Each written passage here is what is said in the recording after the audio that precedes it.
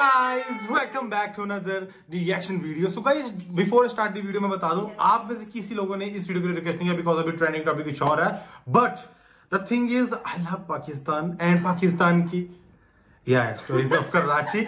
But the thing the the thing is you know uh, Pakistan is an old शहर और जो कराची शहर है sorry Pakistan is country so शहर है बहुत पुराना शहर है और इसकी स्टोरीज अलग है. So I want know about thing and Irfan जो है बढ़िया वीडियोग्राफर है स्टोरी टेलर इज़ अवेलेबल नहीं है पाकिस्तान में भी. Okay so let's start the video original video English में मिल जाएगा. जस्ट एंजॉय दिस मास्टरपीस मेरे favourite stand up comedian Zakir Khan ने एक दफ़ा कहा था कि कहानियों की सबसे खूबसूरत बात यह है कि सुनाने वाला डिसाइड करेगा कि कौन सी कहानी छोटी है और कौन सी बड़ी। Okay. और मेरे लिए तो सबसे बड़ी कहानी है मेरे शहर की जिसको सुनाने के लिए तो तीन घंटे की फ़िल्म भी कम पड़े। लेकिन ये है उसकी गलियों की I'm telling you again, he the best storyteller in Pakistan. But please, please, please, please trust me. ये जनरेशन में he is good he is good okay he is too good मोहल्लों की सड़कों की कहानी। दिस स्टोरी तूने नहीं सुनी एक बार भी इसकी? कराची वॉल्यूम थ्री सुन अभी इसकी पहले भी सुनी मैं रिव्यू मैंने आई थिंक देखी है तेरे साथ पर रिव्यू मेरे साथ जस्ट वॉच ना? Story of Karachi Karachi amongst other things अपने खानों की वजह से बहुत मशहूर है। अगर कराची में खाने की बात हो तो हर कोई एक ही जगह का नाम ले। कराची। की सबसे पुरानी फ़ूड स्ट्रीट जिसका नाम रखा गया एक ब्रिटिश सर्जन के ऊपर जिसका नाम था जेम्स बर्न्स पार्टीशन के बाद इसका नाम रख दिया गया मोहम्मद बिन कासिम रोड लेकिन आज भी लोग इसको बंस रोड के नाम से ही जानते हैं। उन्नीस के बाद बहुत सारे लोग इस जगह के आसपास माइग्रेट हुए और अपने साथ लाए अपने लजीज खाने। शुरुआत में बंस रोड की पहचान थी यहाँ की निहारी। जब बाहर खाना खाने का और प्लास्टिक बैग्स का इतना रुझान नहीं था तो लोग घरों से बर्तन लेके आते थे कि आज घर खाना टेक अवे करके जाएँगे। और कराची की बहुत सारी कहानियों में बहुत ज़्यादा इन्फ्लुएंस है पार्टीशन का जैसे कि दिल्ली कॉलोनी इस इलाके में अक्सर लोग दिल्ली से मतलब नाइन जब देश अलग हुआ था हम दोनों का हम इंडिया पाकिस्तान। तो जो इंडिया से यहाँ से उठ के भी वहाँ पाकिस्तान उधर गए थे पाकिस्तान में। सो दैट्स उस जगह का नाम है दिल्ली कॉलोनी जो यहाँ से उठ के गए होंगे दिल्ली। माइग्रेट होके आए थे इस वजह से इसका नाम आज दिल्ली कॉलोनी है लेकिन पहले इसका नाम था पीर इलाही बख्श कॉलोनी क्योंकि उन्होंने इस जगह को सोसाइटी की शक्ल देने में बहुत बड़ा किरदार अदा किया था। लेकिन फिर टाइम के साथ साथ इसका नाम दिल्ली कॉलोनी पड़ गया। और आज भी वहाँ बहुत सी जगहों के साथ दिल्ली जुड़ा हुआ मिलेगा आपको। दिल्ली मस्जिद दिल्ली छोले वाला Delhi biryani Delhi kirana store Delhi fruit shop और बहुत कुछ। और जहाँ कराची की कहानियों में हारमोनी है डाइवर्सिटी है वहीं just like every other city इसकी कुछ कहानियों में नफरत भी है जैसे कि आराम बाग इस छोटे से पार्क का नाम एक जमाने में राम बाग हुआ करता था। इसके कोने पे एक स्टेज था जहाँ पे रामलीला तो इंडिया में पाकिस्तान जो मुस्लिम लोग आजकल इंडिया में चल रहा है जो मुस्लिम नाम से जगह शहर है या फिर जगह उनके नाम बदल के हिंदू रिलेटेड नाम पर रखे जा रहे हैं और पाकिस्तान में वैसा वर्षा। सो चल रहा this is this is going on theatrical play भी हुआ करता था लेकिन फिर कुछ हिंदू मुस्लिम क्लैशेस के बाद इस जगह का नाम चेंज करके कर दिया आराम बाग और क्योंकि हम पार्क की बात कर रहे हैं तो क्लिफ्टन के इलाके में वाक़ है मशहूर ज़माना आंटी पार्क एटीज से पहले इस जगह का नाम था ट्वेंटी सेकेंड स्ट्रीट पार्क और यहाँ से दो मिनट दूर है जर्मन कॉन्सुलेट जहाँ से एक खातून रोज़ाना यहाँ पे साइकिल चलाने आती थी। उन्होंने इस पार्क की मरम्मत में मेंटेनेंस में बहुत हेल्प करवाई बहुत काम करवाया और उनको सब लोग आंटी कहा करते थे। इस वजह से उनके ऑनर में इसका नाम पड़ गया आंटी। पार्क और फिर आता है वो पार्क जहाँ पे घास का नामो निशान नहीं दरख्त तो दूर की बात है। लेकिन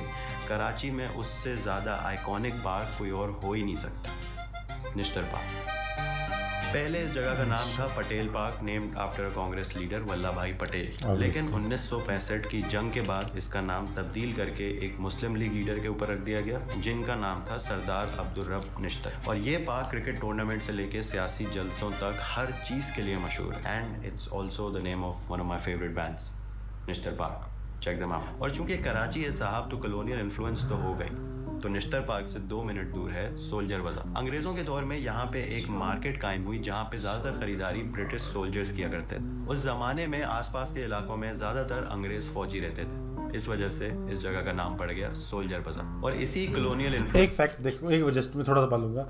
अंग्रेज़ आए इंडिया में पाकिस्तान में बहुत सारी मस्त मस्त जगह मस्त मस्त बिल्डिंग बना के चले गए। और हम जैसे गधे लोग उस पर लड़ रहे हैं इसका नाम ये होगा नाम भी लड़ रहे हैं। वो बना के चले गए just keep it boss guys तो हम यहाँ पे पाक जैसे नाम की से लड़ रहे हैं this show the mentality of India Pakistan की वजह से हमारे पास है गोली मार जहाँ पे अंग्रेज़ों के जमाने में होती थी एक शूटिंग रेंज एक कहानी ये भी है कि अंग्रेज़ों के जमाने में यहाँ पे कैरेज और वॉर हॉर्सेस को लाया जाता था जो किसी बीमारी या इंजरी की वजह से बेकार हो गए हों मुफ़्त का अनाज खा रहे हों तो इनको इस जगह पे लाके एक अंग्रेज़ साहब बोला करते थे कि सिपाही गोली मार हाँ you know what I mean officially तो इसका नाम.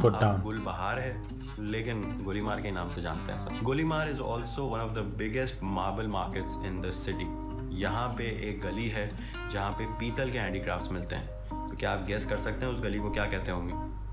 पीतल गली और इसके आगे की कहानी बताने से पहले I want tell you about the music जो इस वीडियो में यूज़ हुआ है और मेरी तमाम वीडियोस में यूज़ होता है which is Epidemic Sound honestly अगर एपिडेमिक साउंड नहीं होता तो इस वीडियो में जेनेरिक सा रॉयल्टी फ्री म्यूज़िक लगा के वो फील नहीं आता। और इतनी मेहनत करने के बाद मुझे पीस ऑफ़ माइंड है कि इस वीडियो पे कभी स्ट्राइक नहीं आएगी, कभी टेक डाउन नोटिस नहीं आएगा, क्योंकि all of Epidemic Sound music is pre cleared for all social media platforms not just YouTube आप मैंने भी use genre, करता हूँ इनके, so yeah, they या are good. स्पीड के हिसाब से गाने सर्च कर सकते हैं और एक दफ़ा अगर आपको कोई गाना पसंद आ गया तो उसके आगे ही होगा फाइंड सिमिलर ट्रैक्स उसको क्लिक करें और उसी फील के उसी वाइब के और बहुत सारे ट्रैक कॉपीराइट नोट करते हैं और उस लिंक की वजह से वो कहानी सुनाता हूँ कि कराची में किताबें कहाँ मिलती हैं। And then we have Urdu bazaar one of the oldest book markets in Pakistan जहाँ उर्दू की। किताबें तो मिलती हैं लेकिन अब ये हर तरह के मैगजीन रिसाले स्टेशनरी आइटम्स प्रिंटिंग का हब बन चुका है। और उर्दू बाज़ार और आराम बाग के करीब ही आपको मिलेगा लाइट हाउस ओके कुछ लोगों का कहना है कि कश्तियों का रास्ता दिखाने के लिए किसी ज़माने में यहाँ पे एक लाइट हाउस हुआ करता था। लेकिन ज़्यादातर लोगों का ये कहना है कि 1948 में यहाँ पे लाइटिंग फिक्सचर्स की दुकानें खुलना शुरू हुई। इस वजह से इस जगह का नाम है लाइट हाउस लेकिन आज यहाँ आपको सिर्फ़ लाइट्स नहीं मिलेंगी। This place is famous for lights cycles sports equipment and lunda जिसको आजकल रीलफ्ट कहते हैं। ये सब आपको लाइट हाउस में मिलेगा। और अगर संडे को जाएँगे तो ये सारा सामान आपको मेन रोड पे मिलेगा। रोड ब्लॉक हो रही होगी। फिर पुलिस आएगी। फिर सारे ठेले वाले भागेंगे। Same same light story house is a happening place और ये है कराची के पुराने तरीन इलाकों में से एक named after since first deputy speaker Mohammad Hashim Gazdar इस इलाके में ज़्यादातर मारवाड़ी कम्युनिटी रहती है जो पार्टीशन से पहले जैसलमेर राजस्थान से यहाँ माइग्रेट करके आए। लेकिन तुम्हारे- तुम्हारा आपने तुम्हारे लोग। का नाम ना सुना हो क्योंकि इस जगह का एक और मशहूर जमाना नाम भी है रनछोड़ लाइन। और शहर के बिल्कुल दूसरी तरफ़ वी हैव बात आइलैंड जो किसी जमाने में आई थिंक ये है। एक्चुअल आइलैंड मुझे लग रहा है ये वाली थिंग रॉयल रॉयल सोसाइटी और पूरे शहर से लोग यहाँ समंदर में नहाने आते थे ये जगह समंदर से 30 फीट ऊपर है और किसी जमाने में यहाँ ज़्यादातर लोग पारसी होते थे लेकिन आज this is one of the most expensive neighbourhoods in the city लेकिन हाँ। फिर भी हर बारिश में डूबता है जस्ट कराची थिंग्स और बाद आइलैंड से थोड़ा दूर दिल्ली कॉलोनी के बिल्कुल बराबर में we have Gizri famous for लकड़ी का काम मार्बल का काम हार्डवेयर का काम पेंट का काम लाइटिंग फिक्सचर्स का काम और फुटबॉल ये किसी ज़माने में एक फिशरमैन विलेज होता था और जो नाम है गिजरी वो एक खारे पानी की मछली के ऊपर रखा गया, जिसको कहते हैं गिशरी और कराची में जितने भी फिशरमैन विलेज आज हैं, या फिर पहले हुआ करते थे, आज वो कुछ और हैं, उन सब में एक चीज़ कॉमन है. वहाँ के फुटबॉलर बहुत क्रेजी खेलते हैं. और ये थी हमारी इस वॉल्यूम की आखिरी कहानी एंड दिस वो stories of Karachi volume three मैं उम्मीद करता हूँ कि आपको पसंद आया होगा। मेरे लिए कराची एक फीलिंग का नाम है जिसकी कुछ झलकियाँ शायद आपको इन कहानियों में नज़र आई। ये शहर बिल्कुल भी परफेक्ट नहीं है। सच बोलूँ तो परफेक्शन के करीब भी नहीं है लेकिन इन्हीं इम्परफेक्शंस में आपको मिलती हैं ये सारी कहानियाँ। और कराची की कहानी सुनाने के लिए तो तीन घंटे की फ़िल्म भी कम पड़े।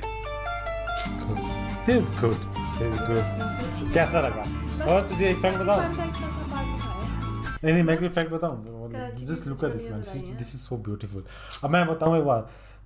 That's I love this guy because जितना भी तूने यूज़ देखा ना वीडियो में एक्सेप्ट म्यूज़िक शॉर्ट एक से एक सारे ग्राफिक्स ये खुद करता है बंदा। मतलब एवरीथिंग एक वीडियो में पूरी जी जान ठोकता है। That's why everyone love Irfan Junejo and but the thing is मुझे लग रहा है जिस हिसाब से ये पाकिस्तान के शहरों के कवर कर रहा है मैप से लेके एवरीथिंग इज़ एक्सप्लेन कर रहा है। मुझे लग रहा है पाँच दस साल बाद खुद एक पाकिस्तान का मैप बना सकता है।